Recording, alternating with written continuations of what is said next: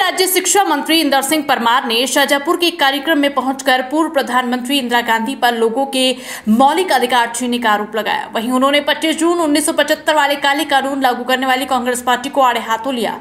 वहीं उन्होंने शाजापुर जिला मुख्यालय पर आज काला दिवस भाजपा कार्यकर्ताओं के साथ मनाया। शाजापुर पहुँचे। स्कूली राज्य शिक्षा मंत्री इंदर सिंह परमार ने मीडिया से बात करते हुए पूर्व प्रधानमंत्री इंदिरा गांधी के ऊपर आरोप लगाते हुए कहा कि 25 जून 1975 को तत्कालीन प्रधानमंत्री ने पूरे देश में आपातकाल घोषित कर लाखों लोगों को जेल में ठूंस दिया था। इसलिए 25 जून को पूरा देश काला दिवस के रूप में स्मरण करता है।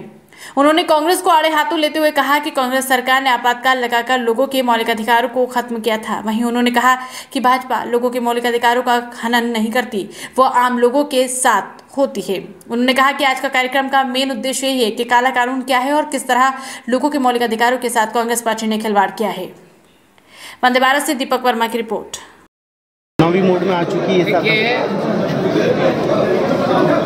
25 जून 1975 को इस समय की तत्कालीन प्रधानमंत्री श्रीमती इंदिरा गांधी ने देश को लोकतंत्र को समाप्त करके देश में आपातकाल लगाया था और लाखों लोगों को उस समय जेल में ठूक दिया गया था, जिसमें कई तो नाबालिग छात्र थे, वृद्ध थे।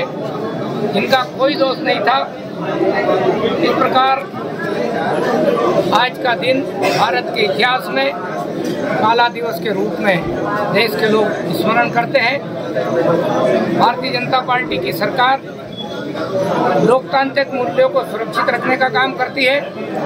वही कांग्रेस ने आपातकाल थोप करके देश के लोगों का मौलिक अधिकारों को समाप्त किया था। वो कांग्रेस आज लोकतांत्रिक मूल्यों की चर्चा करती है तो जो हास्य और इसलिए आज का यह कार्यक्रम मुख्य रूप से 25 जून 1975 के उस काले याददाश्त को सबको स्मरण कराना लोगों को लोकतंत्र क्या है? भारत की आत्मा में लोकतंत्र बनता है उसके लिए भारतीय जनता पार्टी कमलनाथ बेटे के बारे में मुझे कहने की ज़रूरत नहीं है। उनकी पार्टी के कैंडिडेट ही शराब गाँव गाँव बांटने का काम अवैध शराब अवैध शराब करते आए हैं। शराब नीति को लेकर के कांग्रेस के लोगों को बोलने का कोई अधिकार नहीं है।